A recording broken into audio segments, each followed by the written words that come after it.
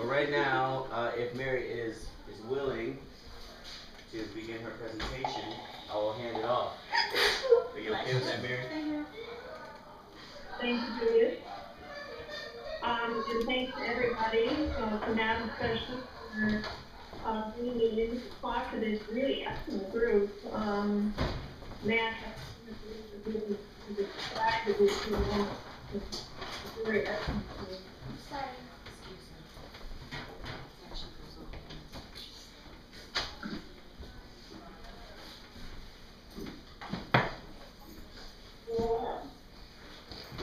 I'm gonna, um, I'm gonna be talking today about how the role that unions and worker cooperatives play in conjunction with each other.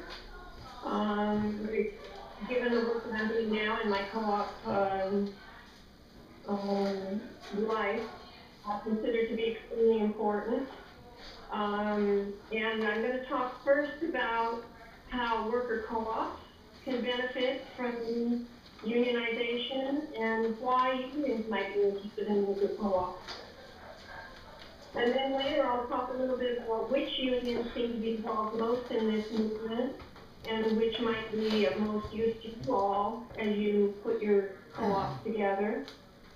Um, and we'll close with some comments about um, national movement, the national movement, uh, various aspects of the national movement of uh, union and co-op overlap. Now, I understand there's going to be some translation. Is that correct? Not yet. Um, yeah, the Beehive Co-op from Providence hasn't arrived yet, so go ahead full speed until they get here. Okay, so just let me know when you'd like me to slow down a little bit. Okay. Okay. Okay, so the first, first uh, issue I'd like to address is um, how can worker co-ops benefit from unionization? And um, I guess there are there are a number of different ways. One is um, with startup co-ops. Another is strengthening uh, co-ops that are already in existence, and one is the big picture. Uh, what unions have to contribute to worker co-ops in the big picture. In terms of support for co-ops, I think unions have a lot to offer. Um, they of course have lots of uh, personnel organizing experience. They have research staff. Uh, they have funds. Uh, and all ways they can contribute to uh, worker co-op startups and have done so uh, in in different locations throughout the U.S. And I'll talk a little bit about those a little bit later. So in terms of startup support, you know, you can get funding from unions, you can get staff from unions, or they will provide you with research. Um, and they can provide ongoing organizational support. In terms of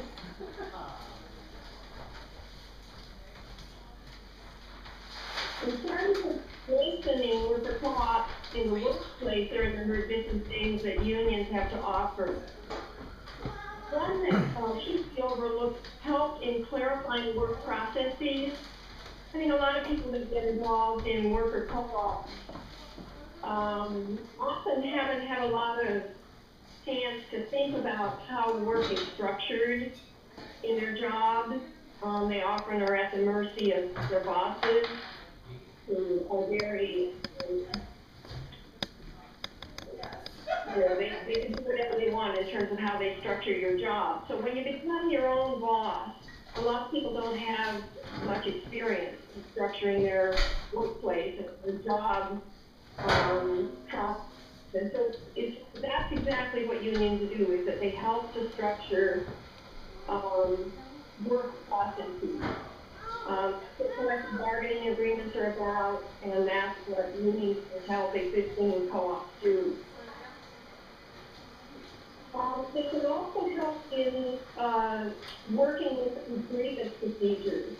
Um, I think all of you probably are aware already that there is friction in, in cooperatives. Um, it's, it's often a very prominent part of conferences that we hold, in terms of training for how to deal with friction and uh, grievances within the worker co-op. Um, and one of the things that unions can do is help worker co-ops structure grievance procedures. And they, in, in terms of handling friction, and then they can also come in and work with people who are having difficulties with each other, providing mutual facilitation. So that's a really big help that unions can provide. Um, some unions can help provide affordable benefits to worker co-op members, health benefits, pension benefits, and that kind of thing. It's not always the case because not every union has control over its own pension funds. Often the pensions are controlled by the employer. Um, but that is definitely something that should be looked into if you're thinking of affiliating with a union, is what kinds of benefits, what kind of health benefits, uh, what kind of pension benefits, um, vacation time, sick time, maternity benefits, et cetera, et cetera. Um, would be definitely something to talk with the union about. Um, and another thing that unions can provide to, um, worker co-ops is an identification as a union shop, which many clients look for when they buy services or products from a worker cooperative. So identification as a union shop is a very, it's not something to be, it, it's an important aspect of being affiliated with the union. So those are several ways that, uh, unions can help strengthen work, worker co-ops in the workplace. In terms of the big picture, there is no other agency in the United States like the labor movement, the organized labor union movement that provides research about the state of the economy for workers, um, and the labor situation in the US and in the world. There just is not, there simply is not any other agency in the US, in the US that can provide that kind of information to workers. So that's a really important aspect of being associated with the union is that you have access to that information, that analysis. And also can stand up with labor, um, in an activist way. So those are a number of different ways that worker co-ops can benefit from being affiliated with unions. In terms of why unions would be interested in worker co-ops, um, I guess most of us are well aware uh, about how the union movement is being decimated by the conservative, right. Um, so unions are looking for new ways to organize, and one of the ways they're looking at is worker cooperatives. Um, worker cooperatives can provide a new union, a new membership base for unions, and they can also, uh, ensure that existing unionized workforces, um, if they're threatened with privatization, or if a longtime owner of a business, a unionized workforce, uh, retires, provide support for workers to buy out, then that's one way that labor unions can retain their base, can, can expand or retain their membership base. And of course, with a membership base, they, um, retain clout and, uh, money through dues. Um, and a not insignificant aspect of why labor unions might be interested in worker co-ops is because the labor union movement, as defined historically, is a constant fight. It's a constant fight with frequent losses. The worker co-op movement is a building movement. You're building something that you own, nobody can take it away from you. Uh, they are for-profit businesses, the members are your members. So building as opposed to constant fighting and losses is, is an important part co-ops. Okay, I'd like to talk a little bit about, um, which, uh, which worker co-ops, what, what unions are worker co-ops affiliated with? Um, I don't have a complete picture, but I can, uh, list several, um, that might be of interest to you all at Worcester Roots. Um, there are a number of printer co-ops that are affiliated with unions, Collective Copies in Amherst, Massachusetts is affiliated with United Electrical. Design Action Collective in Berkeley, uh, California is affiliated with Communication Workers of America. Um, P&L Printing in Denver is affiliated with Communication Workers of America. Red Sun Press in Boston is affiliated with United Auto Workers, interestingly enough. Keep that in mind because it doesn't necessarily have to be a union affiliation that looks like a perfect fit. Let me repeat that. Red Sun Press in Boston is affiliated with United Auto Workers. Um, and, and Inkworks Press in Berkeley is affiliated with the Teamsters, which again doesn't make any sense, but there you have it. So keep in mind that it doesn't have to be a perfect fit if you're looking for a union affiliation.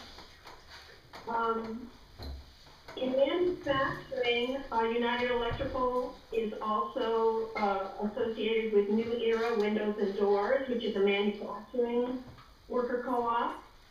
And there are a number of, uh, unions like Service Employees International Union, SEIU, which we're affiliated with, um, home care workers.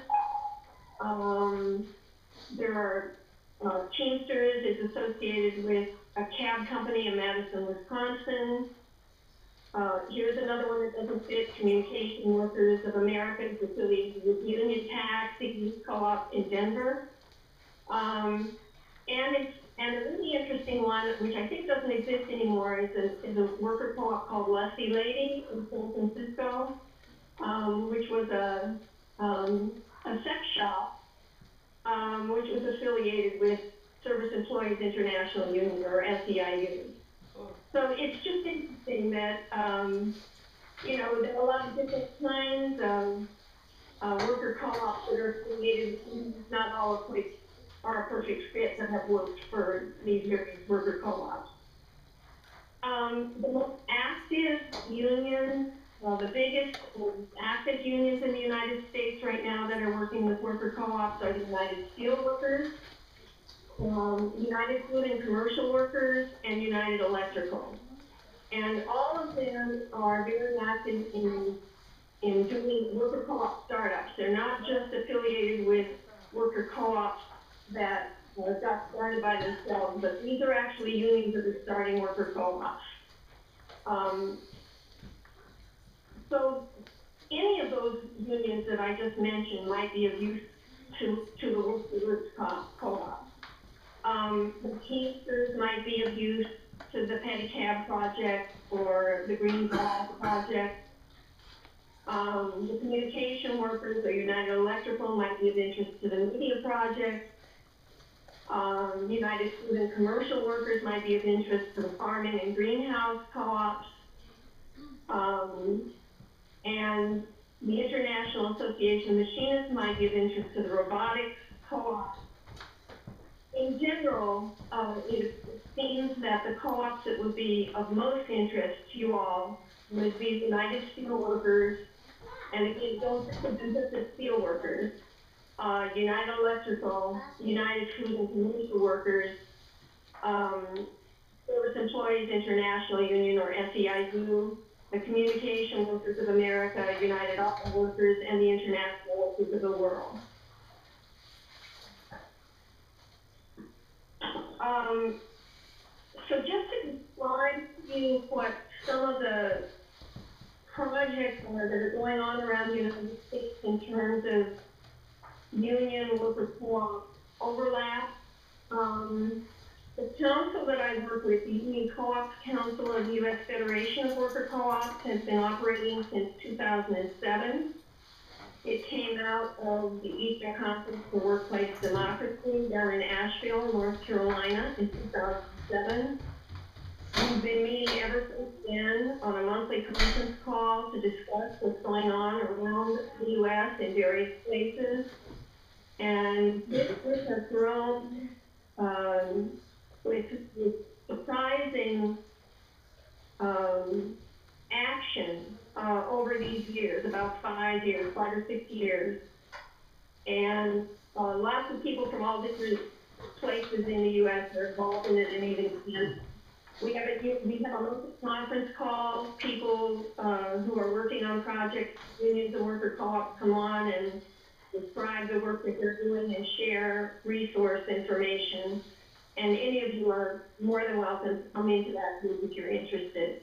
I think, um, Matt provided you some information about the, the Union Co-op Council.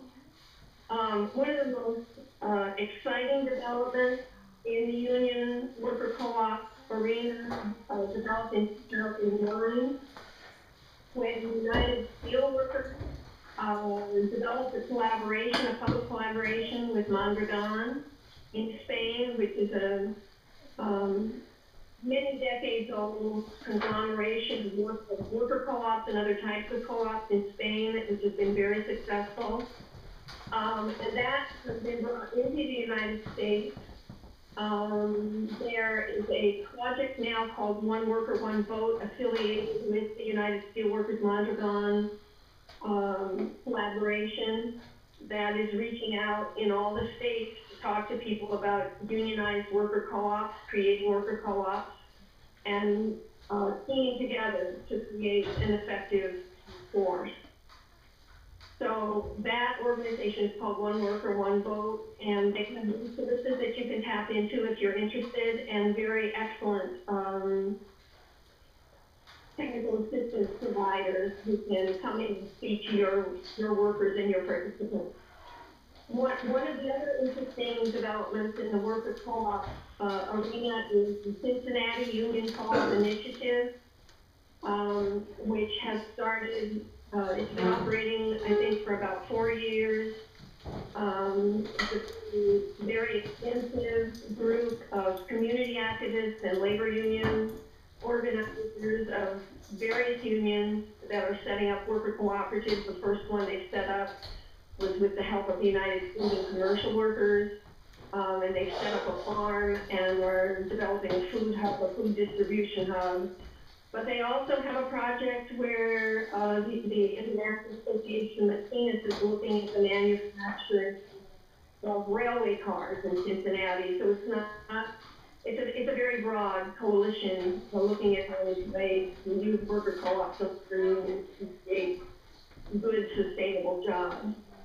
Um, and with that, I'll, I'll close for the moment and take your questions or comments, but before I do that, I'd just like to draw to your attention, as I'm sure Matt has, that, um, the Eastern Conference for Workplace Democracy, next year in twenty fifteen, in the summer, will be held in your town in Worcester.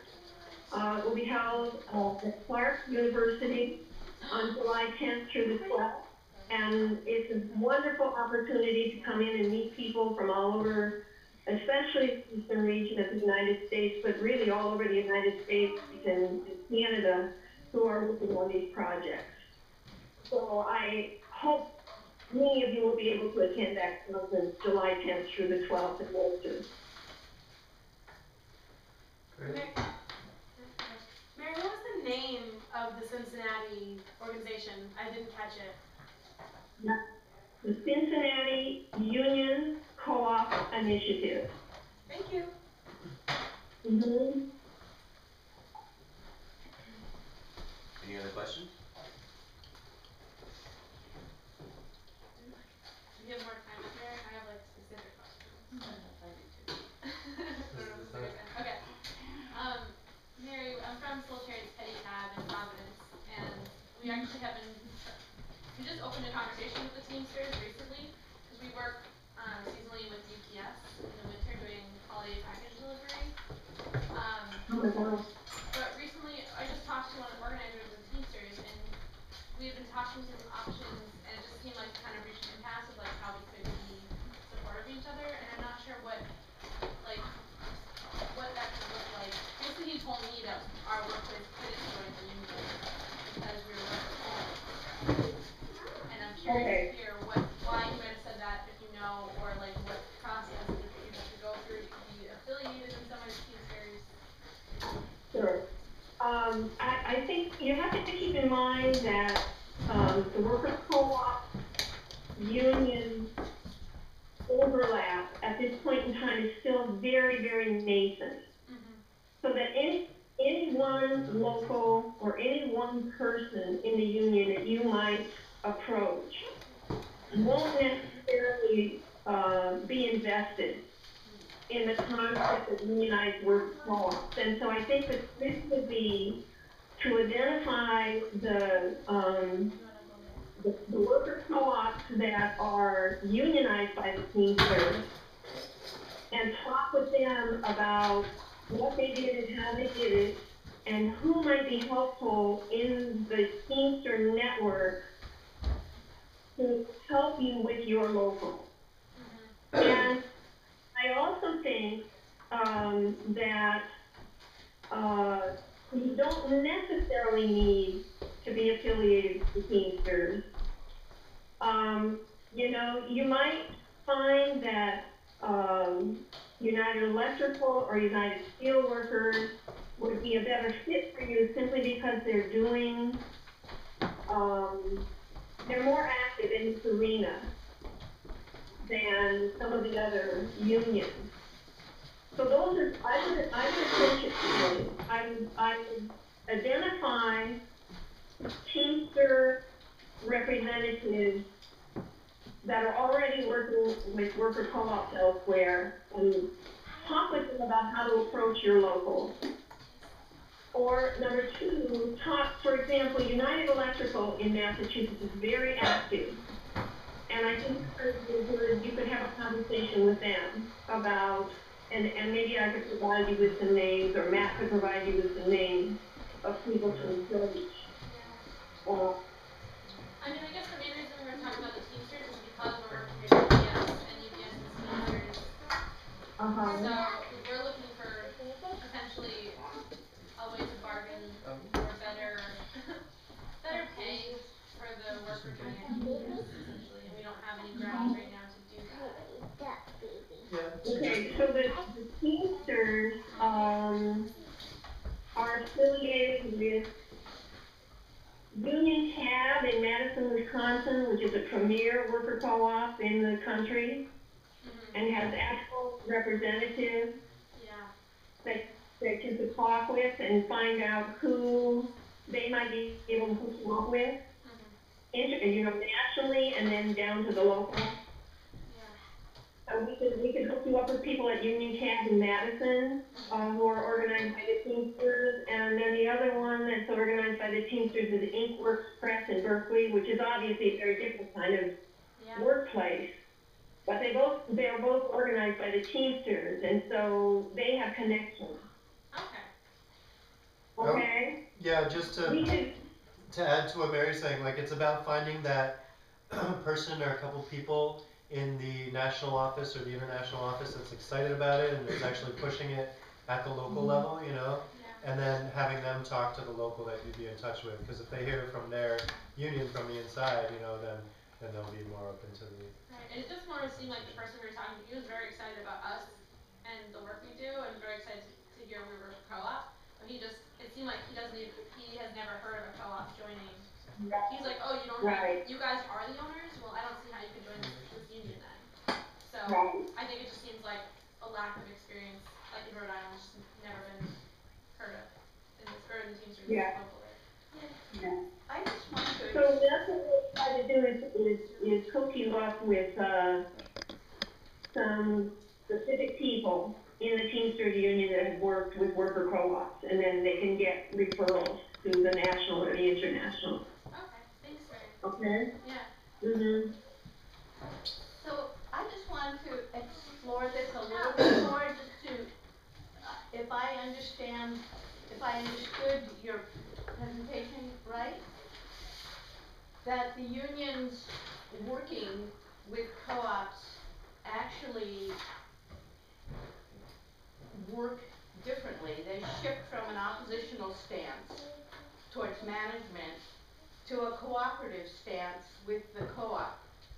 Is that, I That's mean, right. they actually, they actually change their modus operandi. That's right. That's and, right. and their services are different. Wow, alright. Yes, there's, there's be different. There, some of them might be the same as what they provide in terms of, uh, clarifying work processes or grievance procedure processes or grievance procedure facilitation, but that whole concept of fighting and arguing and striking and it, it's just a very different kind of orientation. So they become a supportive, they become, That's right. th- th- their role is to support, uh, That's uh, right. the co-op. Yeah, That's right. okay, that's okay. And isn't that exciting? How exciting is that, both for the union, I mean, how exciting would that be for unions? To know that they could build something, you Right. know, instead of this constant aggravation, which they frequently lose, Right, you know? right, right, that is really, really cool. Yeah. Any other questions or comments from folks?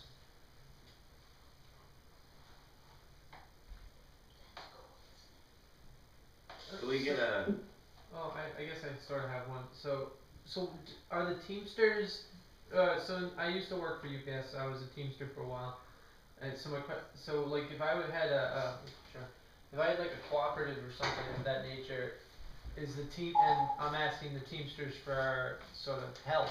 Are they are are they offering things like um, like are they offering access to their their medical benefits and different things by having having your employees become Teamsters? Do they get to buy into that support network directly, or is it just sort of sort of like spiritual support? Well, I, I can't, I'm sorry to say, I can't answer that question directly because a lot of unions, I'm, I'm gonna use my union, my, my previous union as an example. It was, which was the American Federation of Teachers. I was a teacher in the public school system.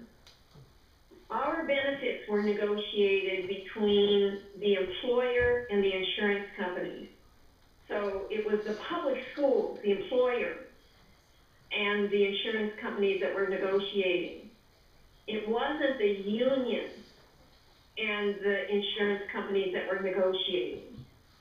So one of the questions you would have to ask, and I think all of us need to clarify, is which union can provide small shops with benefits because the unions themselves control the benefits.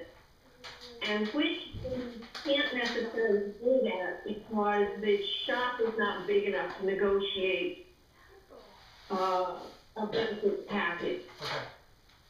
And that's as much as I can say about it. It's Yeah.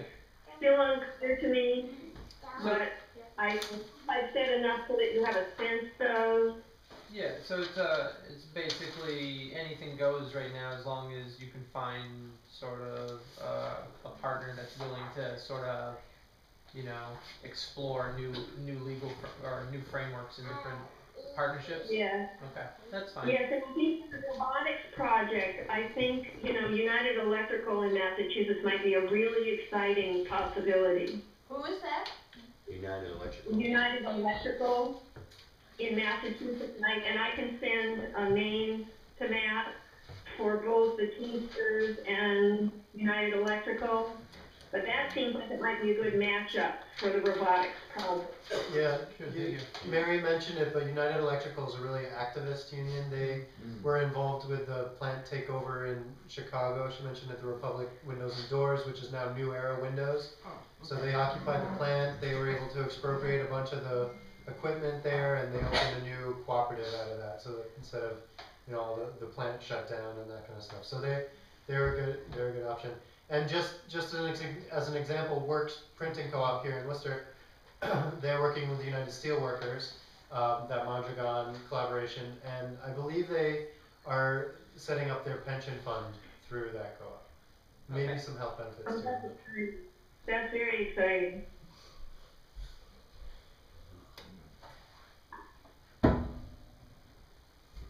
folks didn't have any other questions, comments? One question. Maybe they can. That's, wait. Exactly.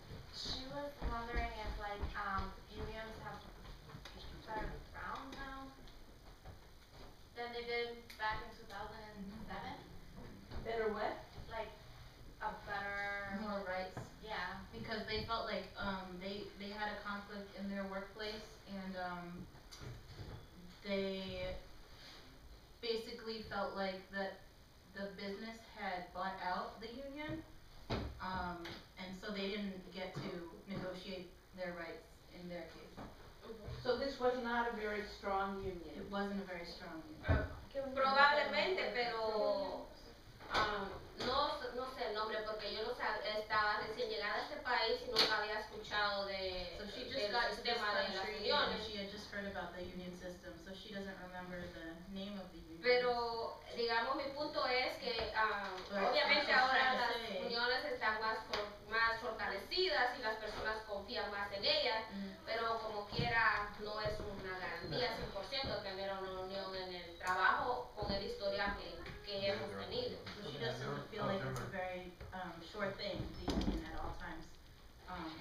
given her history with the union and that experience, she just doesn't feel very confident in what they were able to. Well, I've, I've heard, uh, I'll speak a little slowly and stop at the end of each sentence so it can be translated. Okay, Um, I've heard other, uh, concerns like this. This is, this is not the first time I've heard this story. mhm, Um, and there, you know, there are some unions that are stronger than others. And the ones that are working with worker cooperatives now, which are the United Steelworkers, United Food and Commercial Workers, and United Electrical, those are the strongest ones, the ones that are starting union co-op, are extremely strong unions very, very strong, very progressive union. Um, and, okay, tell me when the, okay, yeah, we got it, it's a little staticky, but we got it. oh, um, and the other thing is that your, your local, your, your workplace union is only going to be as strong as the workers make it. So, if you don't stand up and insist on certain things, then you might not get them. So if, if, if you are the union, you, you are the union, and obviously, in addition to you, there's union leadership. There's what the union brings to the table, and you just need to be careful to get a strong union to help you. So that's, that's another question about the relationship between the co-ops and the unions, is that you have a horizontal structure integrating or interfacing with a hierarchical structure. And how does that work out?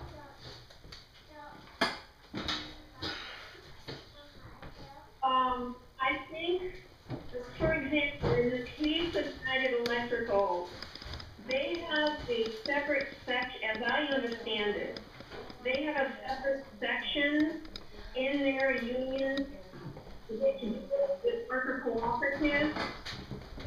And so probably that section of the union functions differently from the overall hierarchy. But I also think that unions that are looking at this strategy for worker organizations are willing to be more democratic and listen to the workers more. I think the labor movement is becoming, as time passes, they're becoming more aware of how damaging it has been not to be democratic and how much it has weakened them. Because, it's only the Democratic unions that are able to make it through the kinds of struggles that are being imposed at this time in history.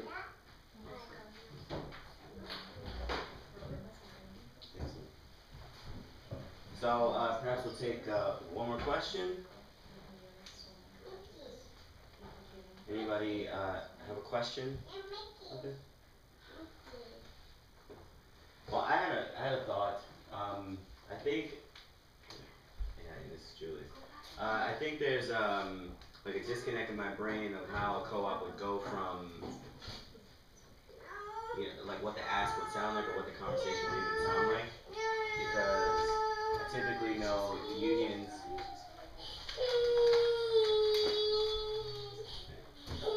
I typically know unions in the, just like most people do, in opposition to management and, you know, pro workers. But I think if, you know, the, the conversation has been like, oh, it would be a different kind of union response to co-ops, to to cooperatives. Could you give, like, could you talk more about what that different kind of relationship would, would look like with workers cooperatives? Um, well, I know, uh, let me use New Era Windows in Chicago, maybe as an example of how United Electrical, which was the union for the workers in this condition, when, when it was Republic Doors and Windows, and the company was going under. Uh, United Electrical came in and worked with the workers to design a buyout to help them, uh, stand up in the workplace, uh, in terms of demonstrations and speak, speak out. Um, provided technical assistance, provided funding, um, and simply work in an organizing fashion with the workers to make sure that they could take over the business effectively. So it's more like an organizing relationship. I, I think the same thing happened in Cincinnati when they were creating, um, our harvest, which is a worker co-op farm. You know, it's, it's, like you all are doing, uh, in your, in an organizing fashion. You're working together to figure things out, to get the resources you need, um, identify the people that can be of most help. That's what labor is. Labor unions are organizing, um, agents and research agents. So, uh, they can, they can, that's the model. I think it's an organizing model, which is what worker co-ops are. That's an organizing model. You know, a democratic, participatory, organizing model. So And an extra layer of voice for the workers. When, when co-ops go to scale, like the Home Care Cooperative Associates in, in New York or in Mondragon, the, these union councils are another level for workers to make sure that they have a voice. Because even in worker cooperatives, there can be some, you know, hierarchies that form management that, that consolidate some power. So the, it's another way to, to make sure that, you know, on the boot, uh, you know, boots on the ground workers have, uh, are, ma- are, uh, have a say and, and I, I think mention, Mary mentioned it for grievance purposes too.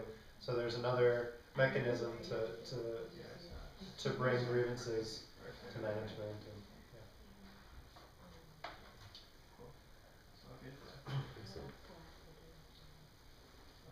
and, yeah. Alright, uh, is there any more questions? Yeah, so just to conti- sort of elaborate one more time is, so the, the argument for joining in the national union is that there's sort of the, a national level democratic body that your corporation can, uh, sort of elect to participate in? Yes, you would be joining a local. But I think what Matt and I have indicated is that sometimes, uh, sometimes there are local union members who are aware of this, uh, organizing model, worker cooperatives. And sometimes they're at the national or slash international level. And, um, like the approach to the Teamsters that the pedicab workers described, you might have a lot more success if you had the names of the people in the Teamsters who had actually worked in this way. So it's not necessarily like the national or the local, it's finding people who are sympathetic and interested and excited about this model and then building on that. Okay.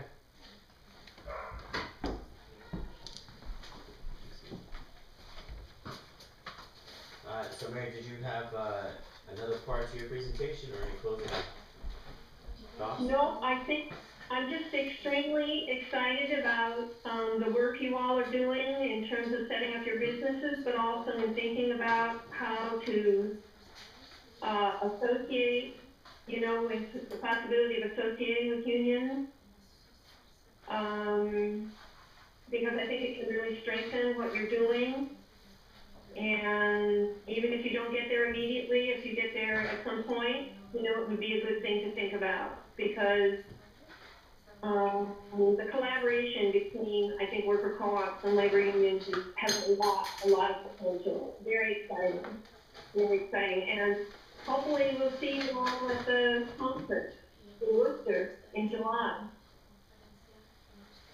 See you there. Thanks, Thank Mary. you, Mary. Thank you so much, Mary. presentation. Congratulations.